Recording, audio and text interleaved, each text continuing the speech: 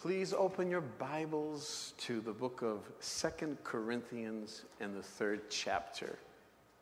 Second Corinthians in the third chapter. Uh, Ten years after accepting Jesus Christ, that would be the year of 1990, I had an incredible, um, life changing encounter with the Holy Spirit. This experience was more of an awakening than it really was a physical manifestation, although I guess you could call me laying prostrate on the ground for three hours in tears a physical experience. But more than that experience, as wonderful as the manifestation was, something on that day happened to me. It was mainly a hunger and a desire that my lifelong goal was to teach others about the Holy Spirit. I can't take credit for this hunger. In fact, on that glorious day, when I really met him, listen to me now, I made this promise to him. I said, Holy Spirit, I devote my entire life to learning about you. I will teach the truth. I will teach others the truth about you. I give you my solemn vow, precious Holy Spirit. From that day to this day, it's difficult not to tie him in in every situation that I have had in my life. Over the last 25 years, he has taught me the secrets of living an anointed life, living a consecrated life. Just like Oliver said in the tithe message. For 25 years, ladies and gentlemen, there has not been a single day that has passed without asking the Holy Spirit to consecrate me. Not a single day in 25 years. Because there is something glorious about living a consecrated life. He has shown me, ladies and gentlemen, what a holy, consecrated, and anointed life should look like.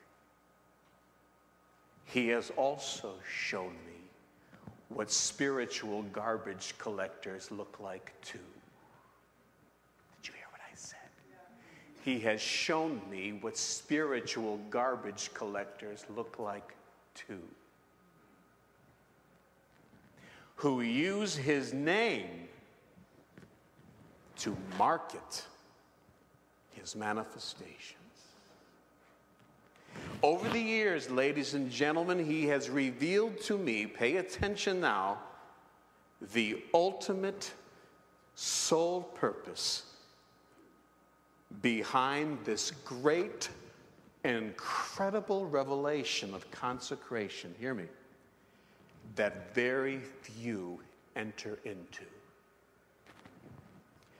Very few of those believers that have given their lives to Jesus Christ have entered into the consecrated holy life. And today, God chose you to be here so that I can educate you and teach you how to live a consecrated life by the power of the Holy Spirit. And we do not move a single muscle when we are asking the Holy Spirit to teach us anything without asking for his instruction. For it is not by might, it is not by might, It is not by power, but by his Holy Spirit. So if you, in respect to our the Spirit of God, put your hands to heaven and say, Holy Spirit, Holy Spirit. for the next 30 minutes, I yield my heart, to you. Teach me, the secrets of living a consecrated and holy life in the name of Jesus. Perfect. Second Corinthians chapter 3 and verse number 18. Let's read this together on the count of three out loud. Are you ready? One, two, three. But we all, with open face, beholding as in a glass the glory of the Lord, are changed into the same image from glory to glory, even as by the Spirit of the Lord. Now, now, now, you must read this again now. We must read this again, right? Faith comes by hearing. Faith does not come by hearing me. Okay. Read it again. One, two, and three. But we all.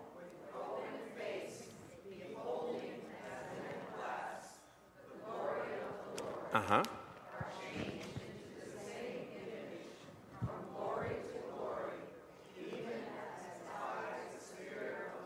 Okay? So the ultimate purpose, the ultimate purpose, listen to me now. The ultimate purpose in being consecrated and being holy, listen to me, is to be come to become to become like him. Hello. Let me say it a different way. The ultimate purpose in being holy is to behold what we are to become. Who do we behold? Him. So, our ultimate goal in living a holy life is to behold what we are to become. It is only the Holy Spirit, ladies and gentlemen, it's not me. It is only the Holy Spirit, it says here, that by the Spirit of the Lord that you will understand and be changed into the safe self-image from glory to glory. As we, as we behold him, come on, listen to me. As we behold him, it is mirrored in our hearts. As we behold him, his image is mirrored in our hearts. Thus, we become consecrated. Thus, we become holy. In other words, in other words, we are not mainly seeking goosebumps. As wonderful as those goosebumps on goosebumps on goosebumps can be.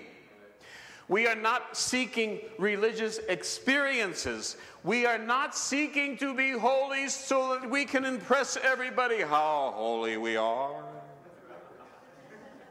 right? We are seeking to be holy, to become more like Him. We are not seeking religious experiences like bleeding statues and angels singing in our ears. Somebody once said to me, I went someplace and I heard the angels singing in my ears as though that was supposed to make me think they were holy. Anybody done that before you before? Amen. Holiness, consecration, oh, is so incredible. That's why God sent you here today. Can I hear another another amen? We behold him we behold him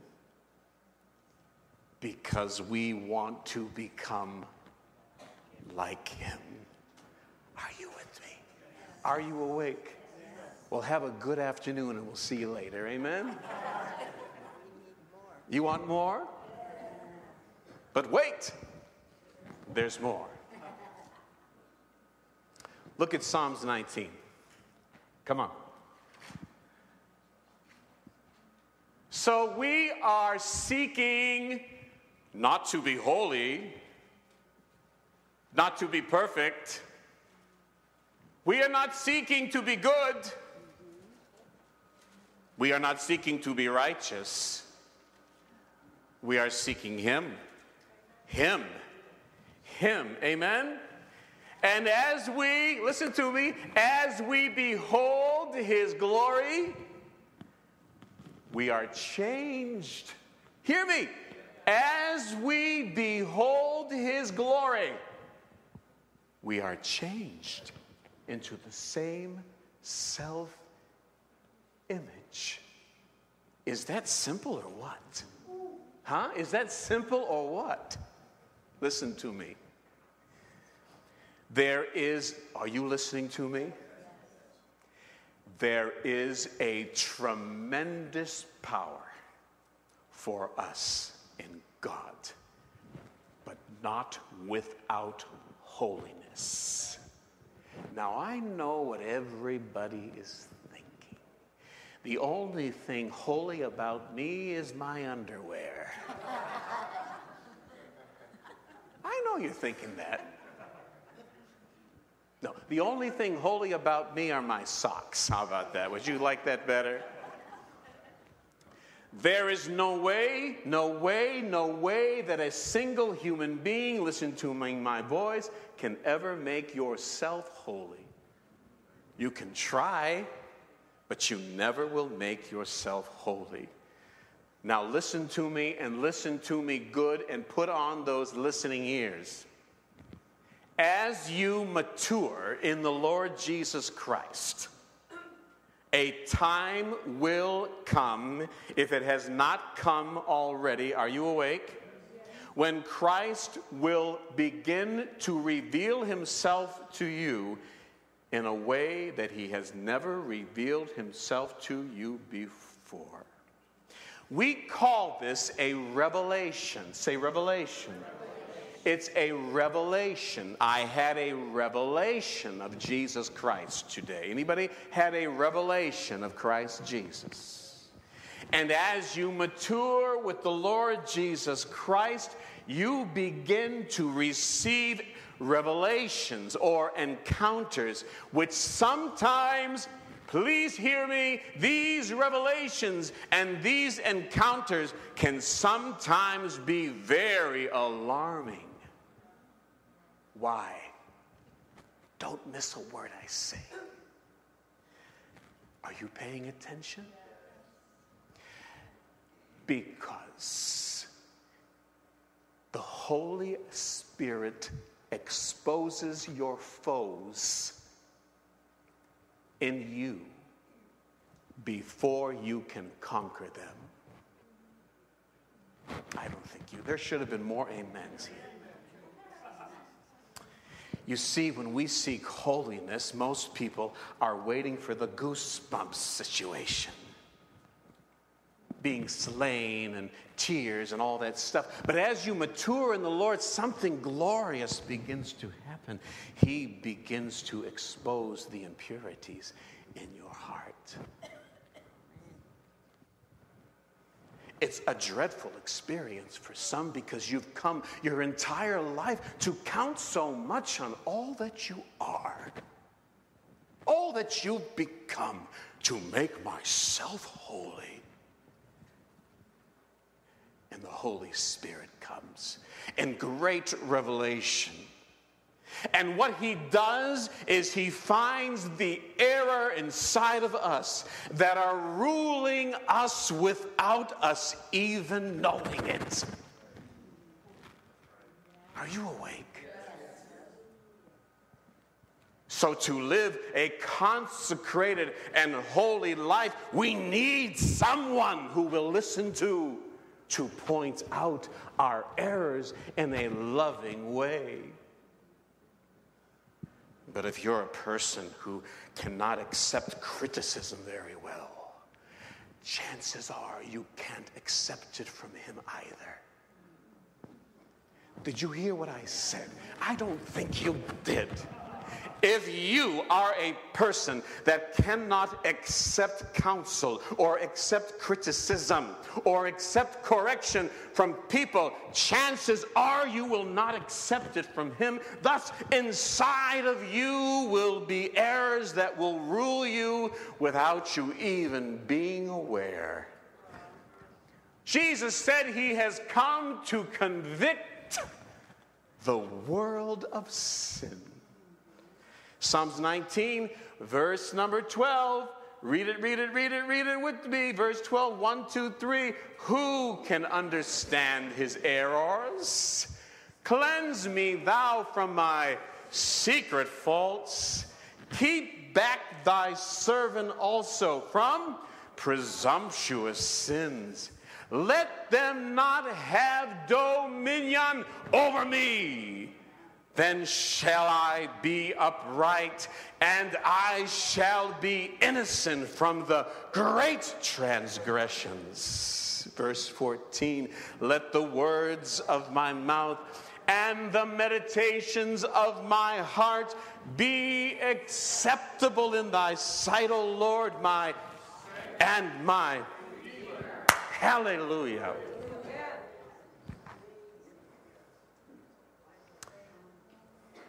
Look at me.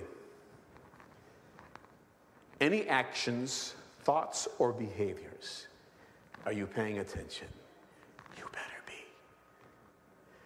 Any actions, thoughts, or behaviors that manipulated by vanity and pride in your life, if you know the Holy Spirit will be revealed to you. Did you hear what I said? Any pride, any vanity, any selfishness, that your flesh will manipulate itself to convince yourself how holy you are, that are hidden and secret deep down in the recesses of your heart, when which you refuse to allow mommy and daddy to correct you or your pastor to correct you, he will correct you in order so that you may take into recognition the fact that you are your own worst enemy. Amen?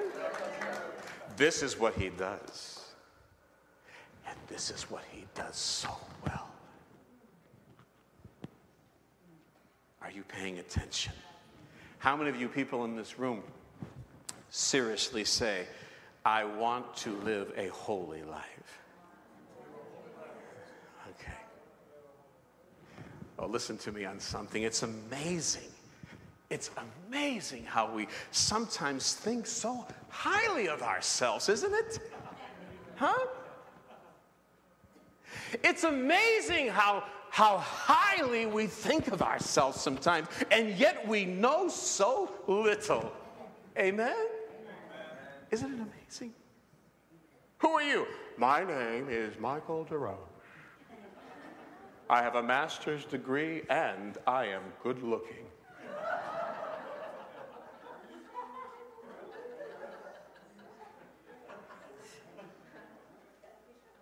We love it. We love to think of ourselves more highly than we are, don't we? But to live a consecrated life, a life which is holy, look, look, look, look, there is only one thing holy about you, and it's Him.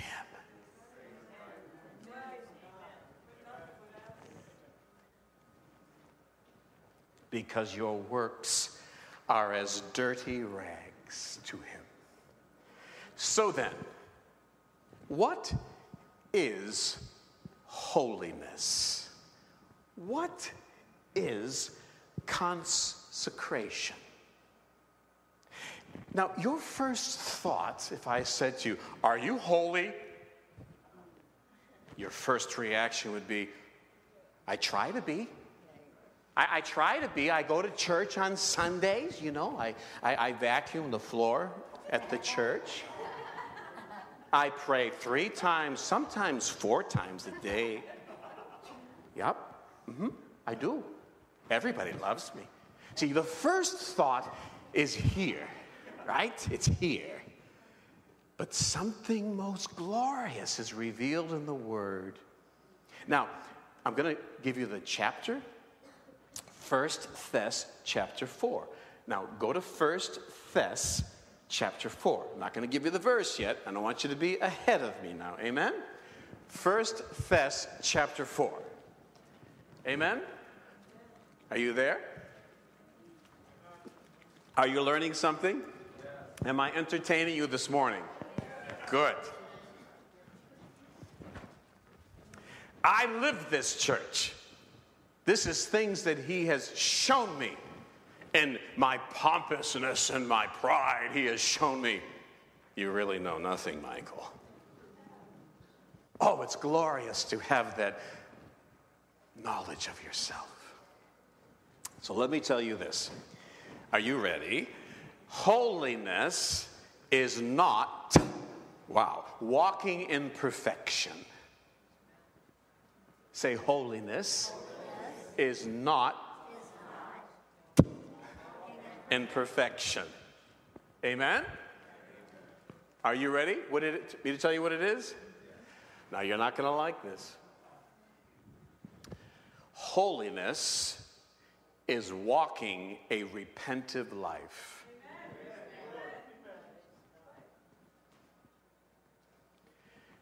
You see, some people live their spirituality here. We call this the exodus. And from the exodus of the mind to the promised land, which is here, some people can't get from here to here.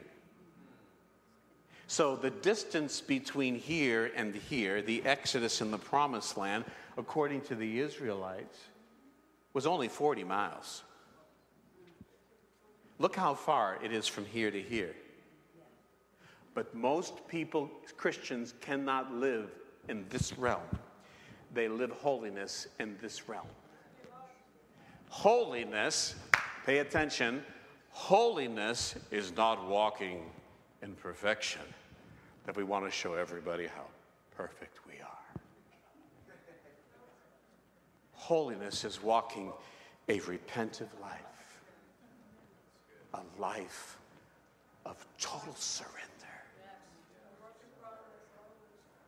That's holiness. Can I hear another amen? amen?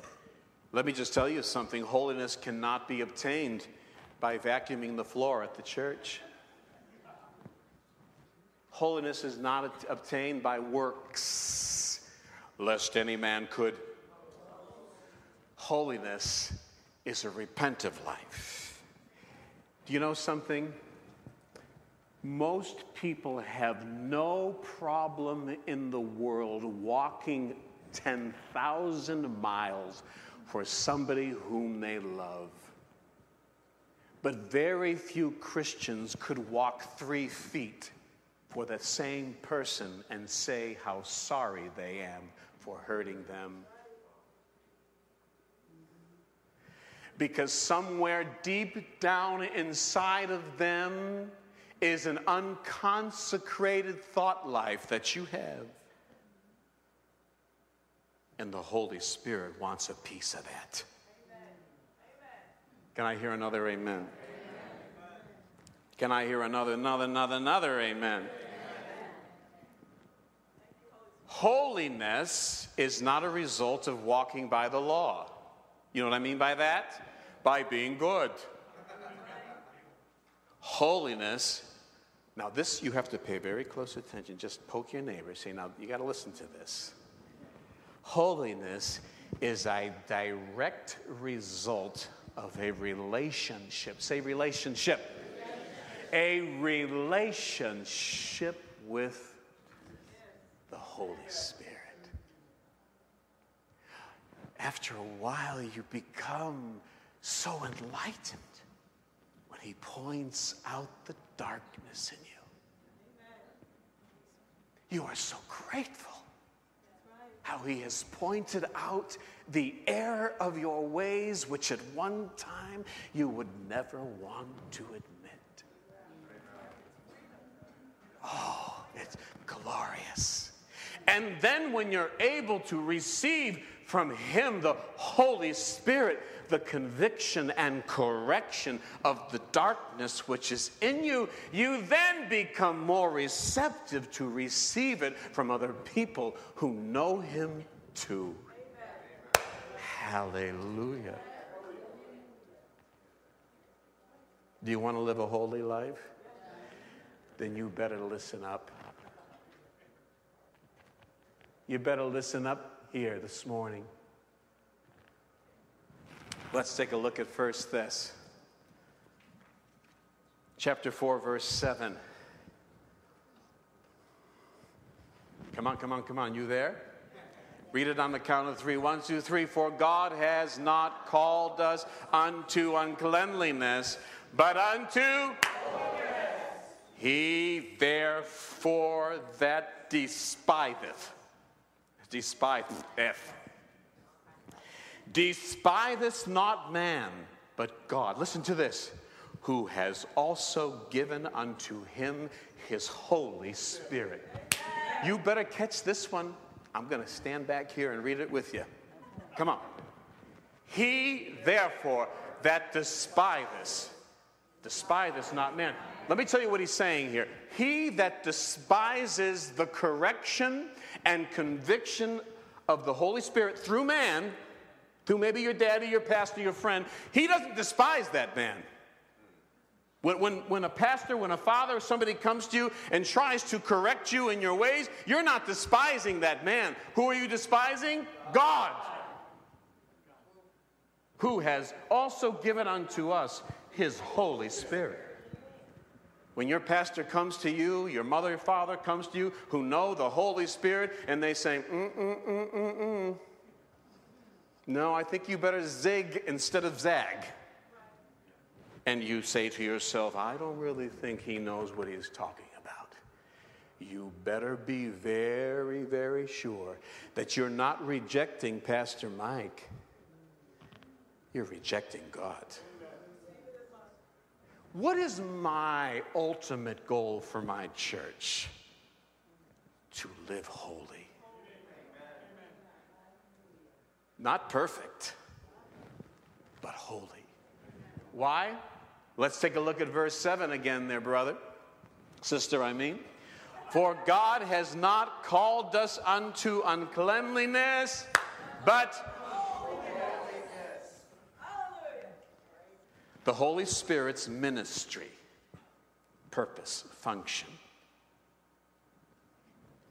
Did you ever, anybody in here ever been a, a bridesmaid before? Who's been a bridesmaid? What is the bridesmaid responsibility? I, I've seen bridesmaids, they go up to the bride and they'll go like this, right? Nicely fixed, and they'll take the train and they'll make, right? They're about to present the bride to who? Yeah, yeah, yeah, yeah, yeah.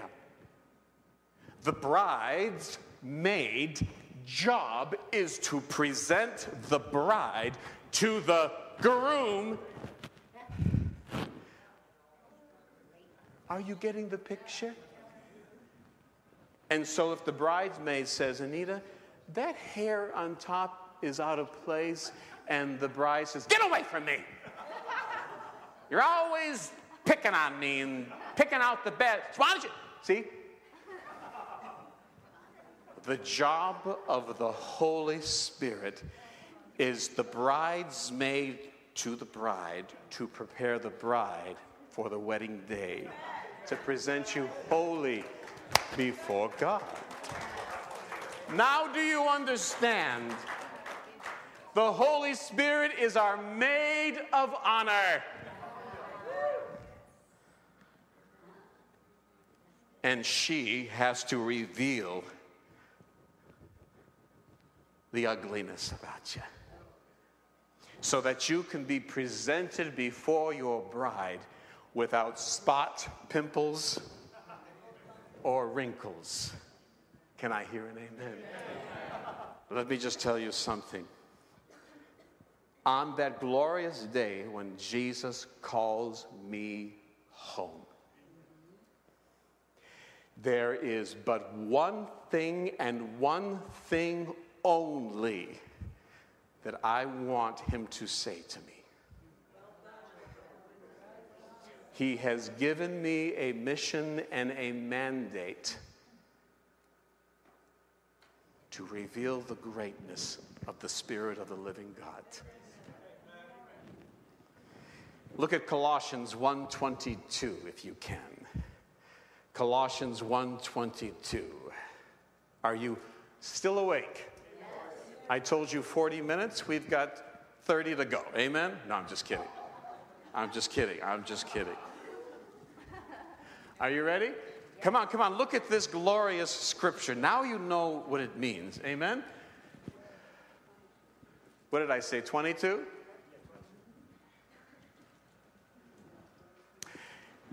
In the body of his flesh through death to present you and and in his sight. Well, now wait just one minute there, big shot Pastor Mike. I've seen you. I've seen you less than holy. Who are you to talk, you Mr. Big Hypocrite, you? Holy. Uh, holiness is so different than what you thought holiness to be. Holiness is a repentant life.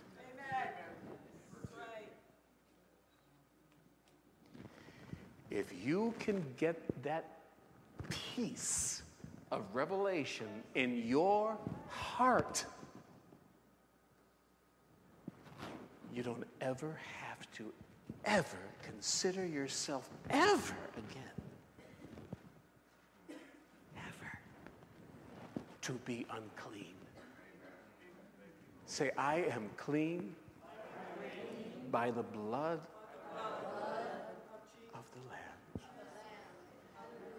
But, Pastor, I can't accept this. You know, two days ago, I smoked marijuana. okay, so what? I haven't talked to my mother in five years. You see, ladies and gentlemen, it's got nothing to do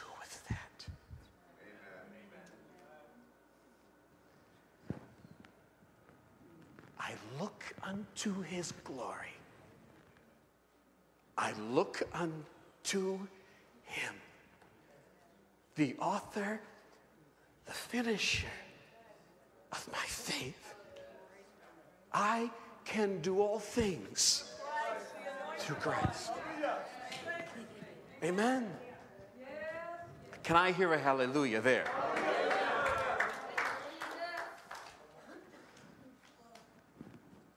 Now, listen up.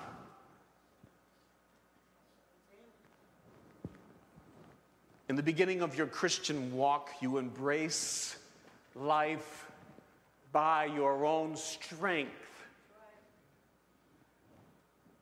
In the beginning of your Christian walk, you trust in your skills and you trust in your success by what you have attained because you're a prayer warrior.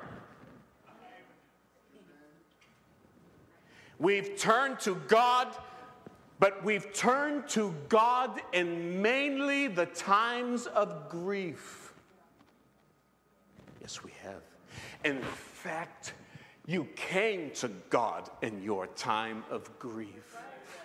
I have never met, not that there isn't, I have never met one person that says, I was on the mountaintop of life, the most successful in the world. I had everything. And then I gave Christ my life. No. I was down. I was a drug addict. I was a sinner. I was wretched. I was lost. I was empty. And it was only at the pit that I find him. But as the Lord, Jesus, begins to mature you, what's that word? Yeah. Some people are very immature. But as the Lord begins to mature you, we what we once considered to be our strength, listen to me clearly here. What we once considered to be our strengths, we actually begin to discover that those are our weaknesses. Wow. As you grow in the Lord, your pride, your self confidence, because now you begin to quote scriptures, huh? Yeah, you're so sharp. For thus saith the Lord God. Greater is he in me than he that's in the world. Yeah. Yeah. I know those scriptures, brother. Oh, yeah.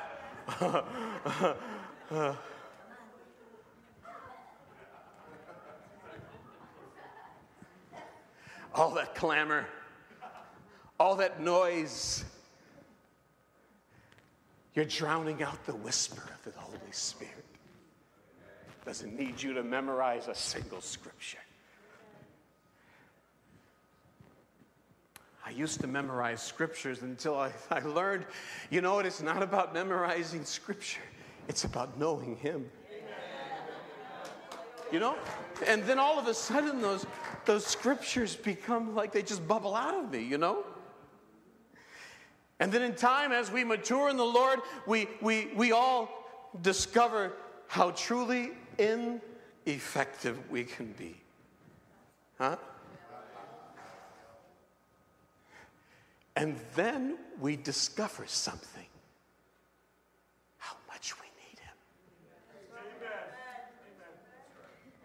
How much we need Him. And as you mature in the Lord, and as you great, you attain status and, and responsibility. You, you even, as much as pastor a church, he begins to show you even more. I don't really need you. I need you. Oh, what a revelation. Now, I'm going to give you a nugget of truth. I'm going to ask you to write it down.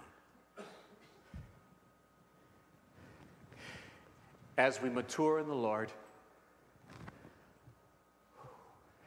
listen to me now.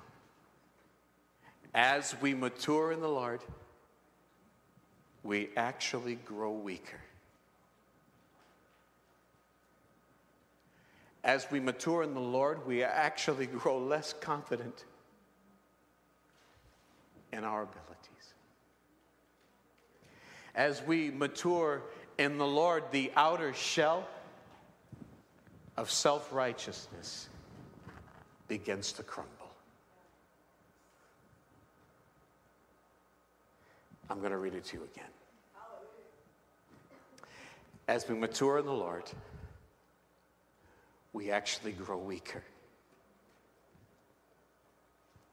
As we mature in the Lord, we actually grow less confident of our abilities. As the outer shell of self righteousness And then Jesus himself becomes God's answer to every man who thus cries out, Holy, holy, holy Lord, God of power and might.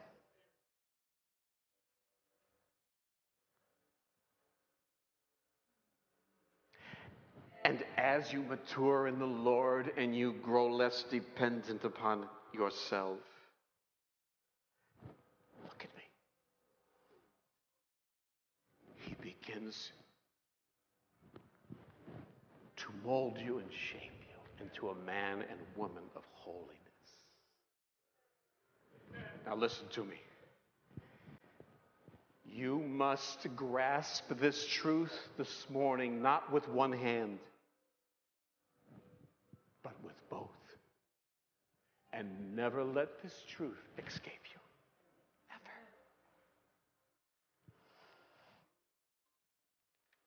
Say, Jesus is my source. Holy Spirit is the power. Change me, shape me, and mold me. Listen with your heart now, church. You want to live a consecrated and holy life? Listen to me. God does not need what you can do. He wants your need and poverty apart from Him. Hear me. Our goal is not to become powerful, but to become holy.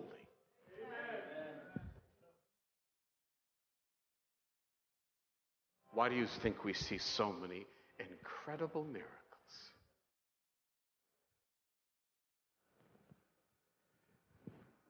I want you to know something. In my prayer time yesterday, the Lord said to tell you something. He said, This church here is a holy church. I said, Really, Lord? He says, You tell them that. You are holy to Him. Do you want to see the power of God in your life?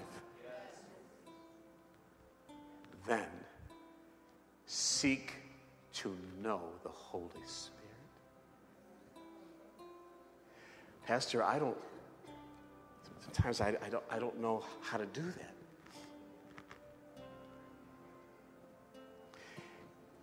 If you wanted to seek to know me, what would you do? Say, the bigger I grow in God, the smaller I become. Did you catch that? I don't think you really did. I think your flesh is fighting you a little bit here. Say it again. Say, the bigger I grow in God, the smaller I become. Because God gives grace and holiness to the humble. Can I hear an amen? Look at John chapter 30. John chapter 3, verse 30, and we will close. Amen? I'm going to try to keep it to 40 minutes. I think we're at 36 and a half right now. Amen? Amen? By the way, I want to see you all at that picnic today. Amen?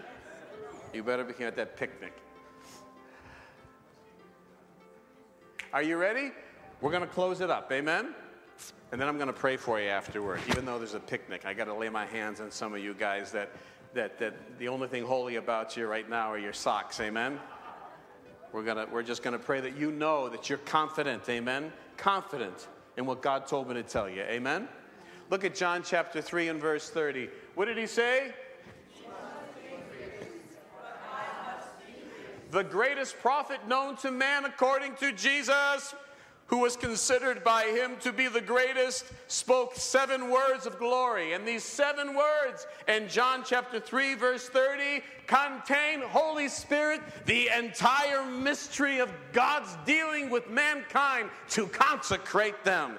He, the Christ, must increase. Me, the man, must decrease. Seven words of glory.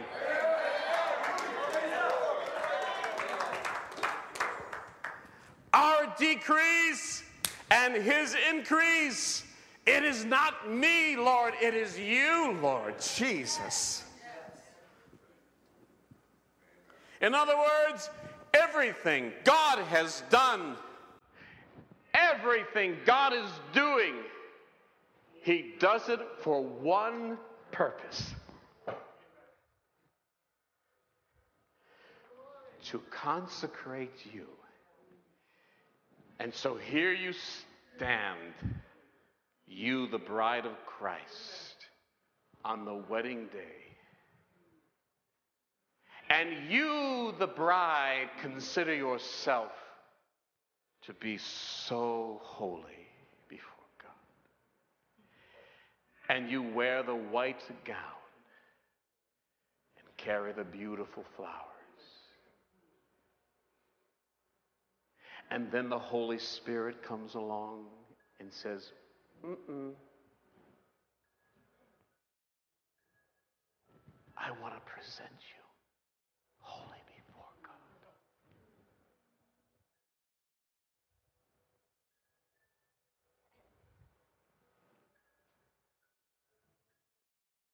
It's his job.